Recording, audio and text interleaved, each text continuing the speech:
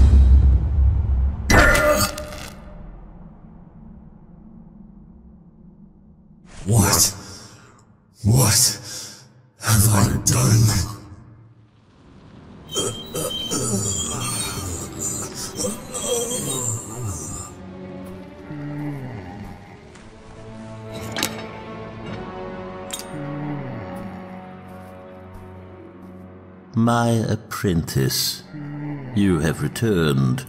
Were you successful in your quest? I was. Show me.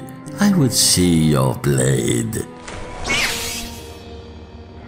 Ah, so you have made your decision.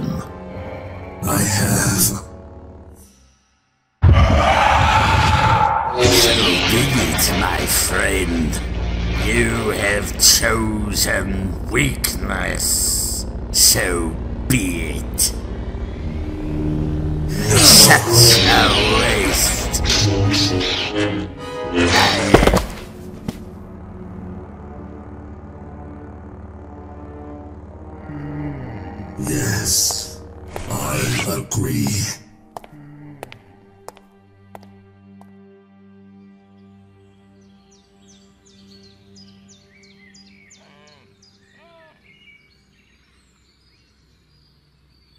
Hmm.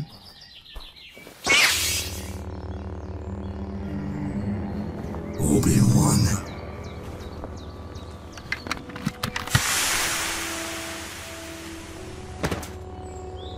Please.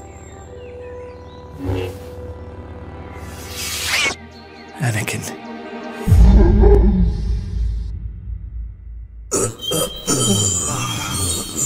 Oh.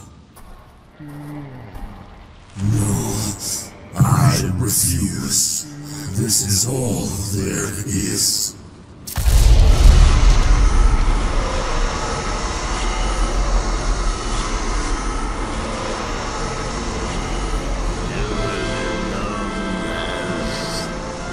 Darth Vader. But I have to sort this out on my own. Without the council. Vader. You were my brother, Anakin! Without you. He's too dangerous to be left alive. Without you. I hate you! My master abandoned me. That's exactly what I did to her. I don't know you anymore.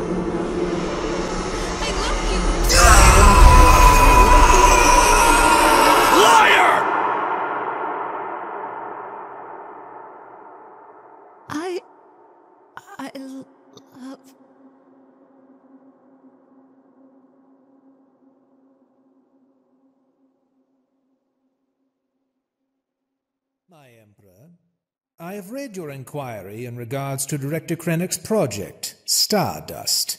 When it comes to the overall outline of the station and the housing aspect, construction continues apace, Your Excellency.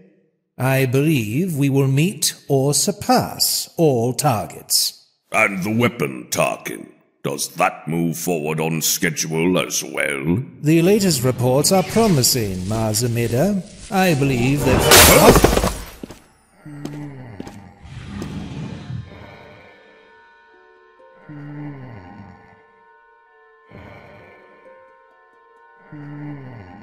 Both of you leave. But, Emperor, your safety. I am perfectly safe, Tarkin.